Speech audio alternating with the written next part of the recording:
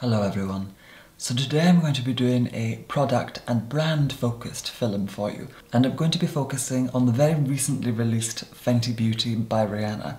When I first saw the campaign for Fenty Beauty I was so surprised. I thought it was very out of the blue. I didn't expect Rihanna to come out with a makeup range within the campaign, I thought the models and the way it looked and the way it was filmed, it was all very refined.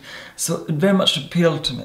And when I checked out the actual products and had to look at them all, I thought, my goodness, these are fantastic. I'm going to go and try these out. And I know it's very popular at the moment, and I do very much try to avoid trends. As I always say, I believe trends are designed for the anxious. However, Fenty Beauty have launched 40 shades of foundation. They've launched a foundation in 40 shades. And I have purchased the lightest shade as well as a highlighter. And we're going to see how they get on. What I very much liked about this range, and certainly when I heard Rihanna speak about the products, is that when she was speaking about the sorts of shades that they created, especially for the darker skin tones. She was very much speaking about the different tones, the different colours, the differences between skin tones. And of course skin tones vary from light to dark, but within that palette you also have different shades. And when I heard Rihanna speak about these many different shades, it very much seemed to me as if though there was a school of thought that was about refinement as opposed to one beauty standard. So that very much appealed to me. So Fenty Beauty of course launched around the world, launched here in the United Kingdom, launching in Harvey Nichols which is a department store here in the United Kingdom for those of you that are unaware. So I trotted along to Harvey Nichols and purchased two products from the Fenty Beauty range. Here I have the Pro Filt'r Foundation, this is the taller one, in the shade 100 and this is a Match Stix in the shade Confetti, which is this beautiful iridescent blue highlighter that I'm going to try out. Now I was very surprised when I saw that Rihanna had launched a makeup range. I have long appreciated Rihanna's contribution to music and to art and to the world for some time. I very much remember the day that I first heard one of her songs a very long time ago and I was very young when I heard it. I've always had a great appreciation for her work and I have many of her records within my archive. So trying out this makeup line is definitely very exciting and of course a little unexpected. When I went into Harvey Nichols, I saw all the foundation shades lined up and there's 40 of them from very dark to very light. And my main interest today is in the very lightest shade and we're going to see how light it is and whether or not it is pale.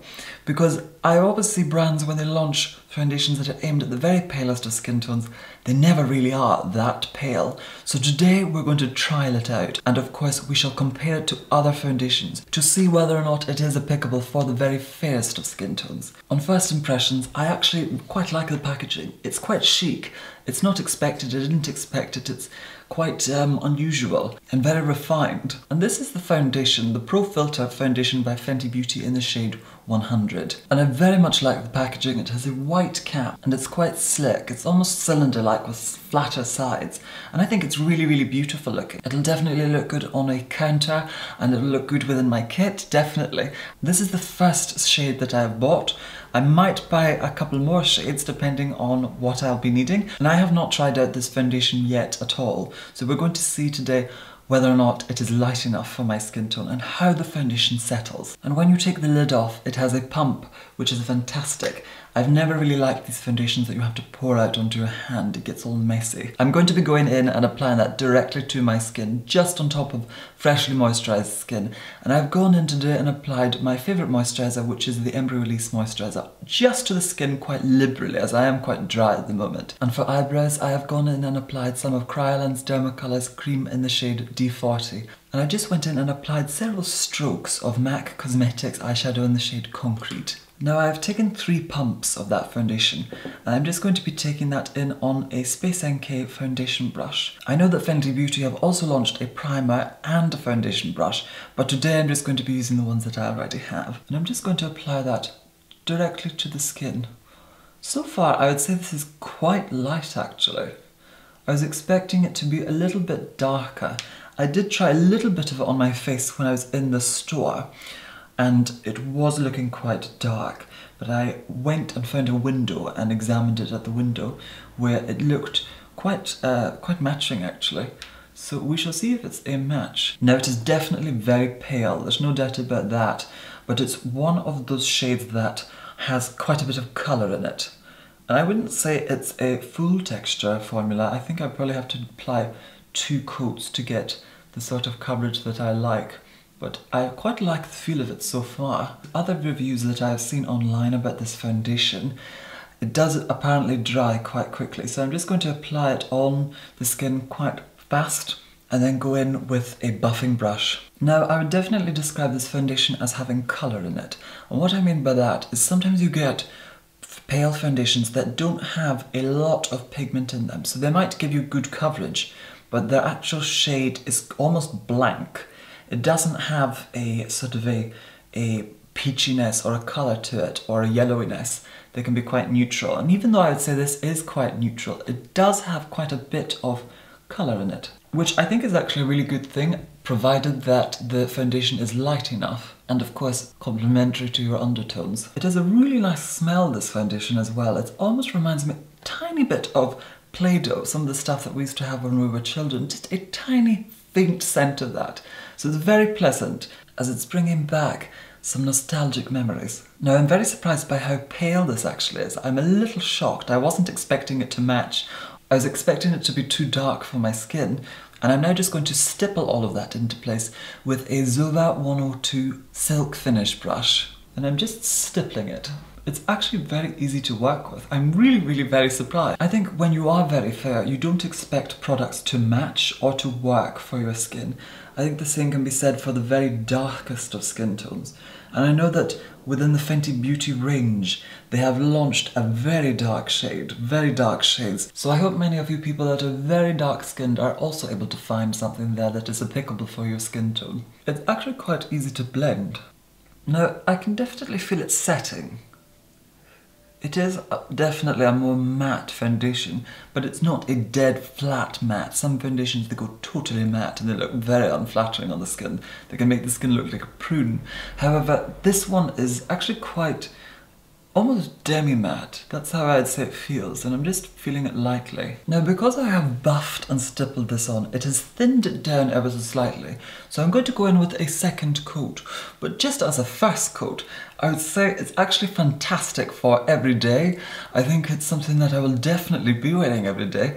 I actually just took a trip to the lavatory, and the lighting there is of course different to that within my studio, and I was surprised, I was very surprised that it actually matches my skin tone right now. However, we will have to see whether or not it oxidizes, but I definitely could get away with this and I think it actually flatters my skin tone very, very well. Now I am going to go in and apply an additional layer, just areas that I feel need additional coverage, certainly around my nose and the center of my face, and of course my chin. It's actually quite easy to blend, even though I can definitely feel it setting and I definitely know that it's setting. I can see in areas where I've applied it, it sets quite quickly. So that has actually given me quite decent coverage.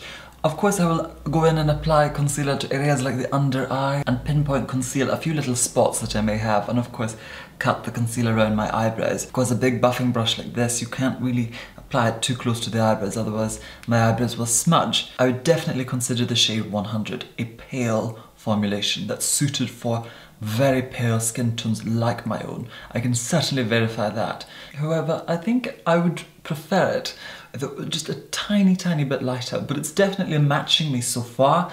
I don't know how long it will take to oxidize or what the oxidization process will be like. This is the first time I've applied a full face of the Fenty Beauty Pro Filt'r Foundation in the shade 100. But in terms of how light the shade is and whether or not it's suitable for the very fairest of skin tones, I can definitely say that it is not far off the Kat Von D Lock-It Foundation in the shade Light Neutral. I would say it's actually a tiny bit darker than this one, but to give you a gauge of how light it is, it is definitely way lighter than the MAC Cosmetics Studio Fix in the shade NW10.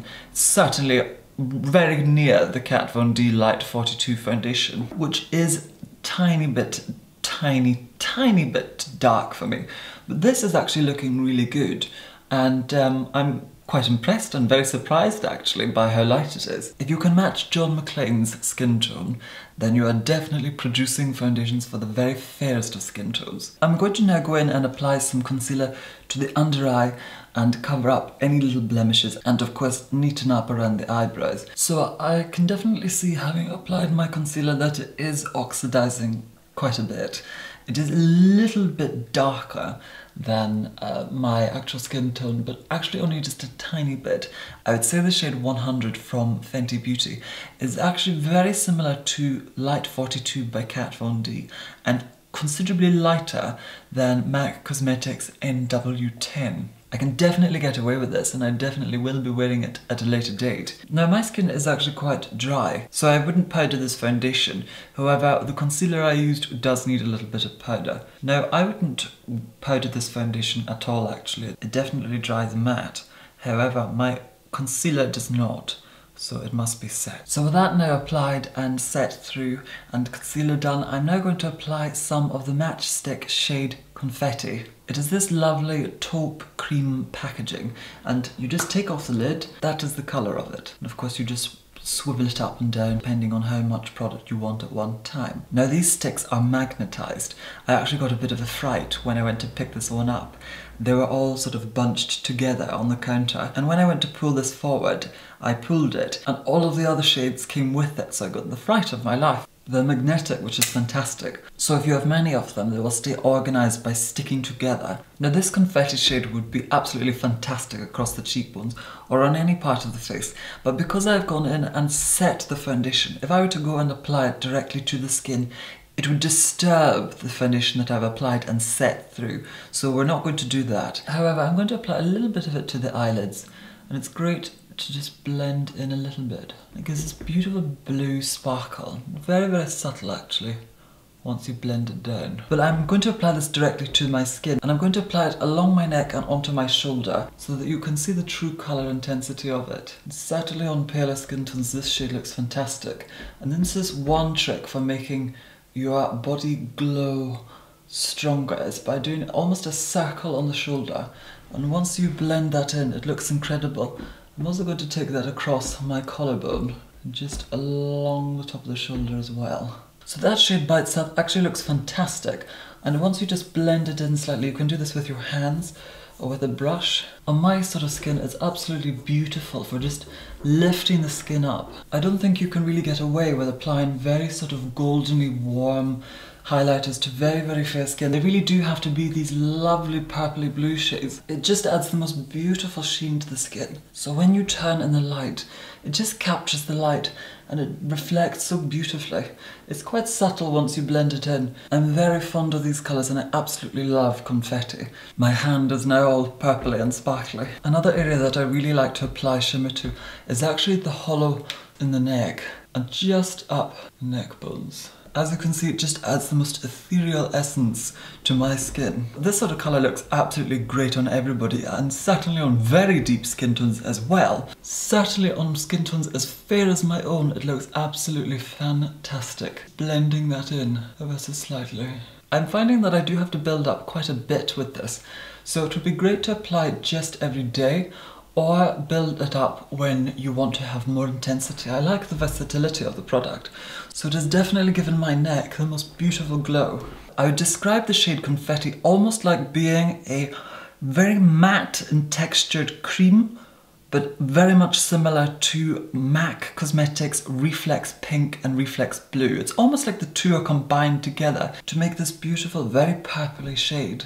So I further went in and applied some eyeshadow and some mascara, a little bit of lip liner and some contour to the cheeks, completing this look. To summarise my thoughts, the foundation has actually oxidized a little bit darker than my natural skin tone, quite a bit darker as you can see there is a difference between the two, but it is not something that I can't work with. And I would say this shade is very similar to the Kat Von D Lock-It Foundation in the shade Light 42. They're very similar, and certainly once they have both dried down, they oxidize slightly. But this is a fantastic foundation. It is definitely one of the very pale formulas on the market. It actually feels really nice on the skin, quite light feeling once it's dried down. But with that aside, I can definitely confirm this is a formula suited for the very fairest of skin tones. Summarising my thoughts on the Match Stix in the shade Confetti, I absolutely love and adore this colour. I think it is absolutely gorgeous and it definitely flatters my fair skin tremendously. This is definitely going to be something I will use frequently, certainly on the body. This product is very much designed like a cream stick, however, not as emollient as the average either cream concealers or cream highlighters. It's got more of a drier formula, definitely a much drier formula and drier texture so it will be very long wearing, very, very long wearing, and I absolutely adore it. And when I went to Harvey Nichols and was exploring the many products that they have launched at Fenty Beauty, I absolutely adored the powder highlighters. I didn't actually get any of them, I'm going to get them at a later date.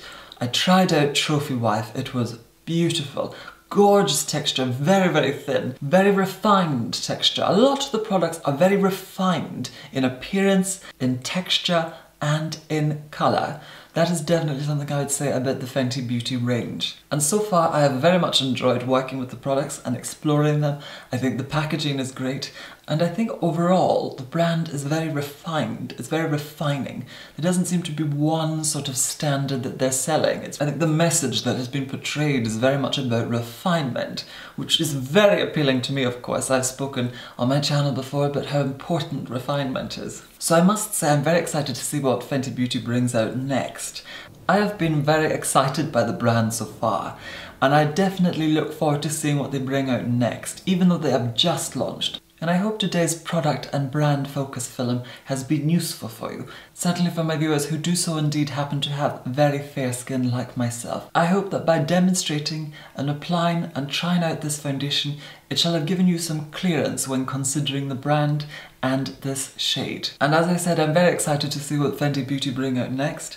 I'd like to directly wish Rihanna and Fenty Beauty and all of the company the very best of luck. I think it's an incredible thing just to go and open up a brand out of nowhere. I'm all for entrepreneurs. I think it's a great thing to be able to start a company, to start something with an idea, with a vision, and to contribute to an economy. It's a great thing. I hope that you have found today's film either interesting, helpful, insightful, or useful. And once again, thank you very much for watching. And of course, Take care of yourself. Bye!